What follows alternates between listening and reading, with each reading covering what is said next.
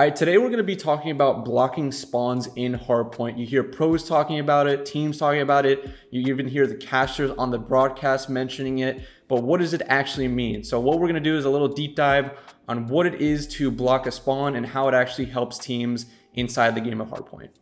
So what is blocking a spawn? So blocking a spawn is basically just standing in the area of a spawn point on the map so that your team's influence is on that spawn point rather than the other teams. So if we want to go more into the logic of what the game is thinking of when you're blocking a spawn, I'll take you through a little example right here. So let's say we're P2 on Hydro and we have three, let's say main spawns, P5, P3, and back P2. So what we want to do is talk about blocking spawns specifically on these pushed out spawns. So what we want to talk about is the logic of actually blocking one of these spawns out. So let's say you're holding P2, so you guys have influence on this side of the map. So let's say you're pushed out here in P5. That means you are now influencing this spawn for your team. And because the logic of the game, you are now going to be spawning your opponents over here. The logic works like this. Since you are contesting this spawn, since your presence in, is influencing in this sphere, it is no longer safe for your opponent to spawn here. So it'll force your opponent to spawn in the other open, safer position for them. Now, things become a little bit different once you take into account squad spawns or a mixture of squad spawns and regular spawns, which is what we had last year in MW2. But if you're talking about a more default system like Cold War spawns or similar to just this P2 hardpoint, this was probably the best example in this game of just regular default spawns. You can really see the impact of what blocking a spawn does. So Let's talk about blocking a spawn versus anchoring a spawn. So anchoring a spawn and blocking a spawn are basically in a subset of like non-overlapping categories where all anchors are spawn blockers, but not all spawn blockers are anchors. So I'll go a little bit more into depth with that. So an anchor, let's say if we're talking about P2, is someone who's blocking the, the close back spawn that you want your teammates to be spawning on to help you out on the hill. So this is, let's say, the anchor that all anchors are spawn blockers because you are blocking this back spawn. However, if we're talking about these more pushed out spawns, you can have a sub that might be playing inside P5. This person and that is now a blocker, but he's not an anchor. So technically, you know, he is an anchor if you were to spawn on him because this is being contested by the opponent. But I would like to rather call him more of a just regular spawn blocker. This is the anchor, this is the blocker, and then we have a free area of where the opponents are going to be coming from. So I say this because we use spawn blockers as a way to identify where the pressure is going to be coming from on a hold. So if we have an anchor over here playing inside the hill and we have a spawn blocker over here in P5, we know that they're going to be spawning in this P3 area, so we can adjust our setup to how they're going to be trying to break on the hill. If we can read the pressure that way, it opens up so many scenarios for us to completely full hold the hill because the fewer lanes that we have to watch, the less area that we're to actually have to cover with our eyes and direct our focus to so that we can hold the hill uh, and adjust to our opponents that way. So let's say we do have P2 up, we have our anchor in hill playing, so he's blocking this spawn back here. And let's say we just have a setup of one guy back here at the P4 rock, one guy dome, one guy let's say pushed out over here. Let's say this guy that's dubs pushes out and gets into P5 after getting a few kills. He knows that he's blocking this spawn. He knows that they must be spawning in this P3, P1 area. And therefore we can now set up what a lot of teams like to call a funnel. So that's where you are basically directing the opponents to one side of the map and you can now adjust your setup to accommodate the fact that they're only coming from one area of the map. So you can now play crosses, you can now work with your teammates, and you can now even hit a little pinch if you wanted to if all the players respond up and influence that way. So the way you can do this is really getting pushed out on the map. A lot of teams, when they would start on a hill, let's say you're starting on that P2 and we end up getting those kills, we would like to play a little bit tight first off, so maybe you're a little bit tighter. And then once we get those kills, we would push off uh, because you're now able to take a little bit more space because the other teams are now coming off of spawn.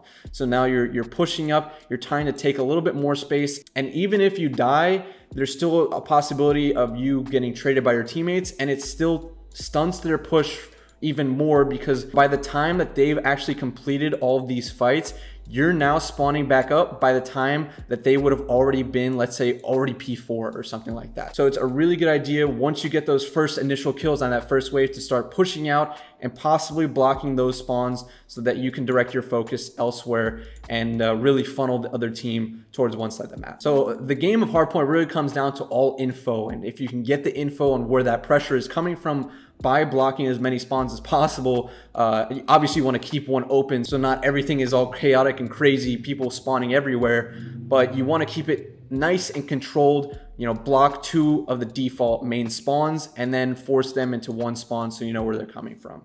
So I actually just recorded this video, but I wanted to mention two more really crucial points. And that's just, you know, if we are blocking the spawn, so like let's say we have this setup here that we were talking about before. We have the anchor, we have the blocker.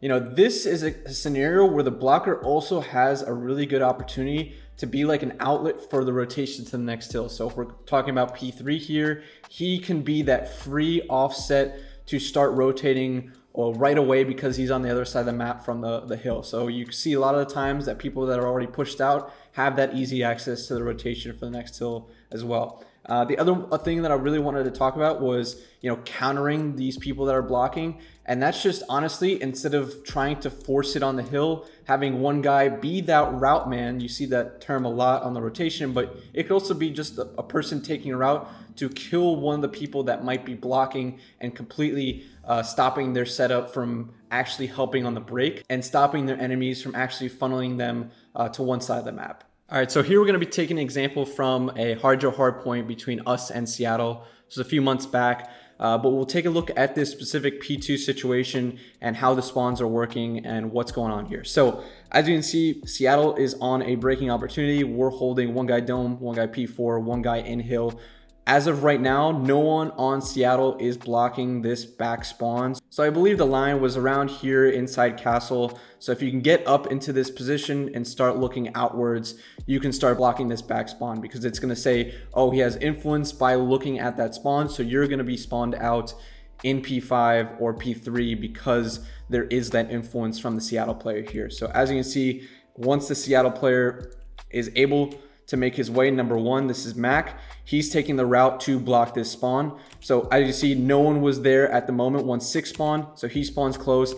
Number one gets outside of here. He technically has that line uh, that's being designated. So once Seattle has both sides, we are now spawning out. Now this is a more deeper spawn than usual uh, back here, but Brandon is going to spawn out. But that just means that he is going to be also blocking this P5 spawn technically. So that's why number four spawns here P3. Because he spawned into a spawn point, uh, that's going to be technically blocking this influence for Seattle. So Seattle is going to spawn in a more safer area in P3.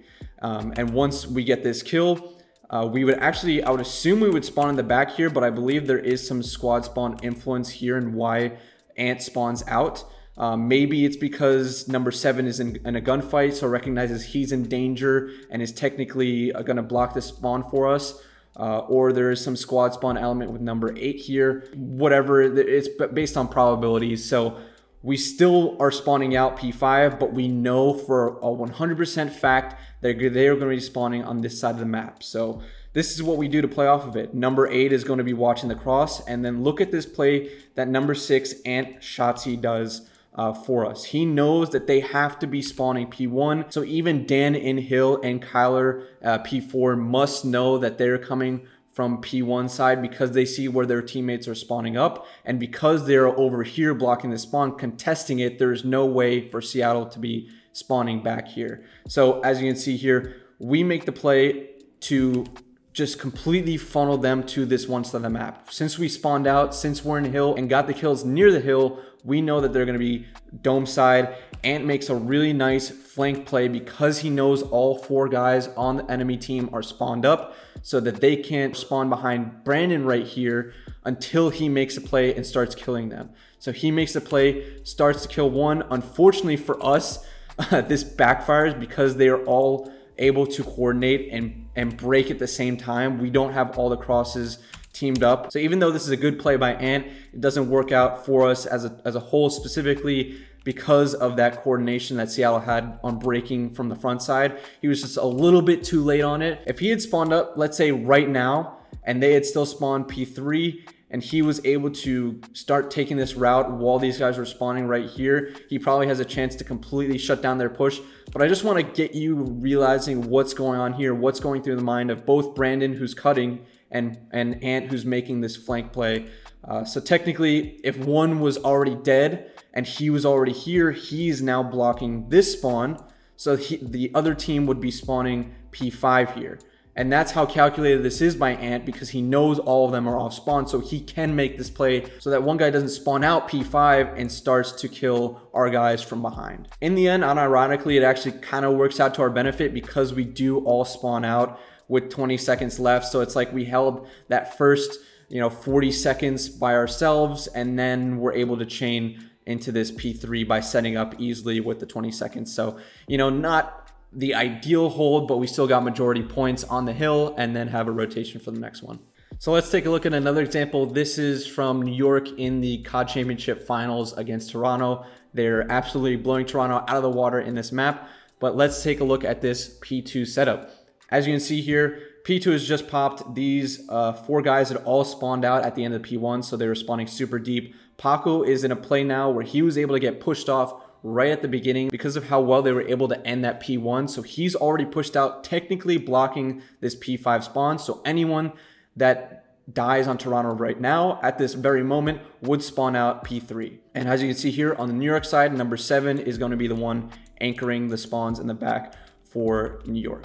So Paco not only gets one, but he does get two off being pushed off inside P5 here. And he takes a route where it's it's a super impressive heads up play by him by going P5. So he can first try and help out number six, who's fighting number three here. Number three end up, ends up dying, but now by blocking P3, he knows and his team knows that they are all going to be spawning P5 in this area and that the last guy alive is going to be P5. He plays off of this. He can now go back and go back towards the water and try and flank these guys P5, similar to how Ant was flanking the guys P1 in that last play. He knows that all the guys are spawned up, so he can now take action and actually make this calculation and take this risk by flanking them. Unfortunately, a good play by Insight by actually picking him up, but now he knows and he can relay to his team that all of these guys are coming from this P4 side. They can adjust to that. As you can see, number six, Skyz here is already playing the cross. He doesn't even need to worry about his P1 because he knows that they are on the other side of the map. And from this, Kismet is now basically cross set up with Skyz. They're both going to be able to teamwork anyone that might be coming through this area to try and break through the front of P2. And then as you can see here, because this spawn is being blocked by Toronto members, this being contested, now New York is going to spawn out as well. It's up to Kismet to stay alive to keep blocking the spawn for the team. And then from there on, Skyz can still teamwork with Kiz here. You actually see Skyz turn around just for a quick second, just in case number three was taking around through mid and 2P1. And at that moment, Paco would not have been able to cover that lane because he was off spawn. But once Paco covers it, he now turns back over his attention towards the P4 to keep helping Kismet out. Once again, they're just completely cross setup because they know Toronto is going to be coming from this area. So I hope you guys enjoyed this little explanation of what's going on with spawn blocks and how you can actually implement them as a team